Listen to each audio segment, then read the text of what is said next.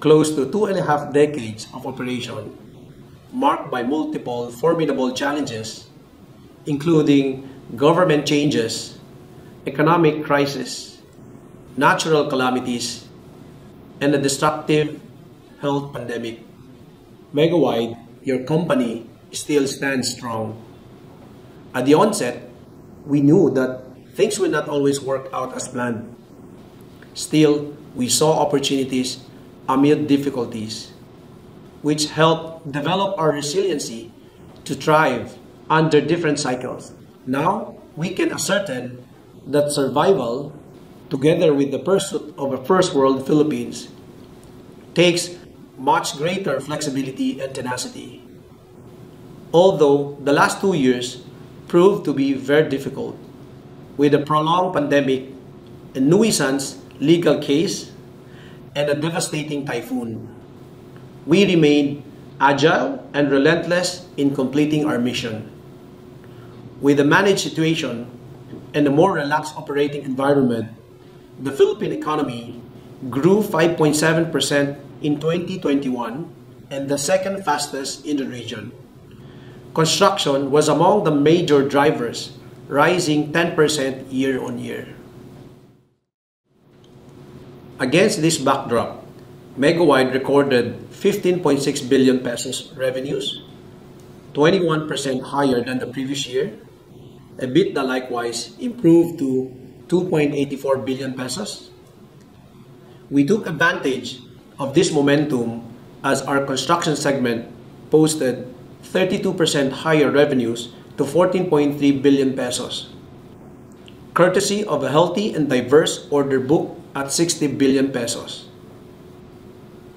Local aviation, on the other hand, remained severely affected. Tourism and airport operations were still hampered by limited travel, a result of the country having one of the longest and most stringent lockdowns in the world. Our airport business, through the Mactan Cebu International Airport, or MCIA, recorded a passenger volume of only 1.33 million from around 12.7 million pre-pandemic and delivered combined revenues of 599 million pesos from operations and merchandising. Land travel, meanwhile, proved to be vital during the health crisis. Our landport business, through the Parañaque Integrated Terminal Exchange, or PITX, saw a continued growth in passengers with eased land travel controls. As of December 2021, total passenger volume reached 80,000 daily on average, with a peak of 125,000 during the holiday rush, from a 65,000 average pre-COVID. However, increasing office vacancy rates offset the performance, resulting in revenues of 587 million pesos. The year was almost over when Typhoon Odette ravaged Cebu province. MCIA Terminal 1 was damaged while construction in Cebu sites stalled as debris blocked major roads and the supply chain.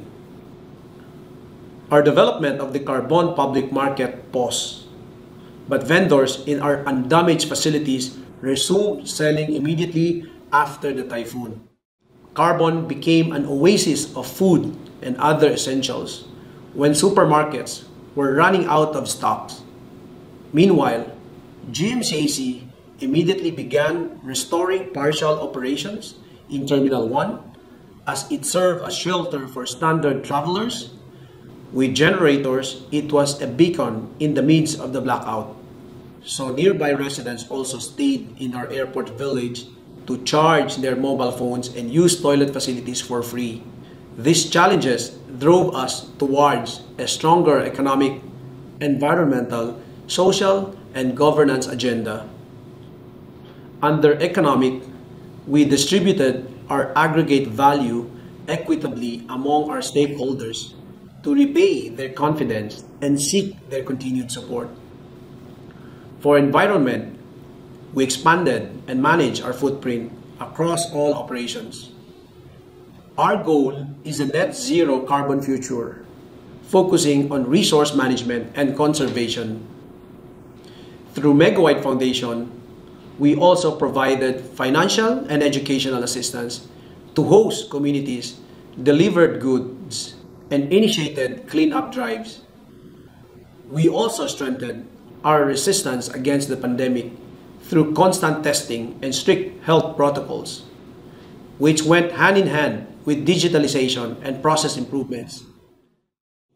Finally, we advocated the highest level of governance across the organization, resulting in a score of 102.2 points from 98.5 the previous year in our Asian Corporate Governance Scorecard. We are aware, however, that strengthening our corporate resistance must be complemented by a proactive business strategy to seize opportunities in the next normal. With several factors affecting 2021 performance, we identified cycle-resilient segments aligned with our long-term vision. Our pivot to infrastructure continued with progress in the Malolos-Clark Railway project and the Aglipay Sewage Treatment Plant. We believe that infrastructure development is sustainable amid different cycles and will remain a priority under the new administration. From less than 5% pre-pandemic, infrastructure share in our order book has grown to 17% as of 2021.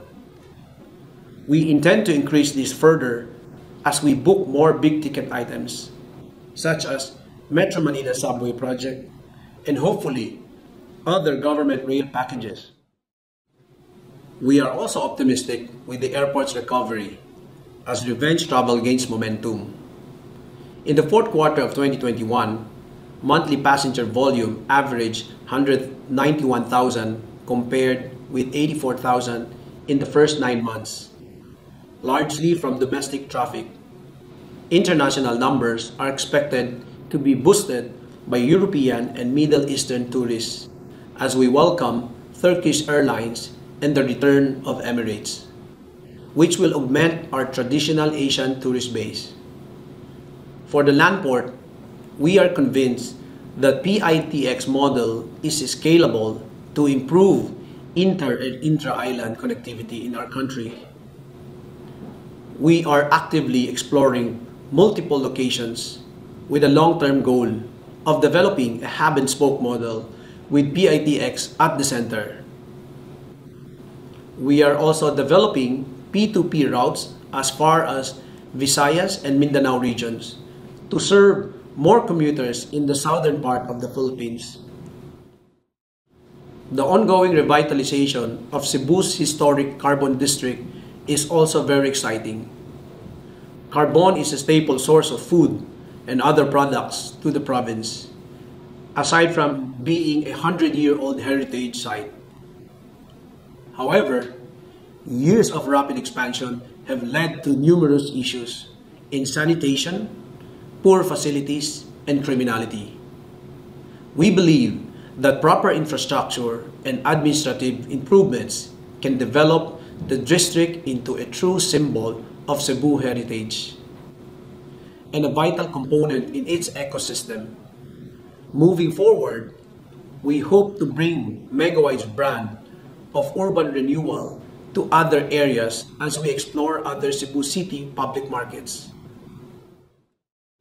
During the last 12 months, our collective resolve as a company was challenged in unprecedented way, and our purpose as an organization was questioned. Despite our losses this year, we stayed true to our values. Integrity, malasakit, and community kept us going. That made us relentless in pursuit of our vision for inclusive development. The journey has not been easy, and we thank you for keeping us going through 2021 and another quarter of a century of engineering a first world Philippines.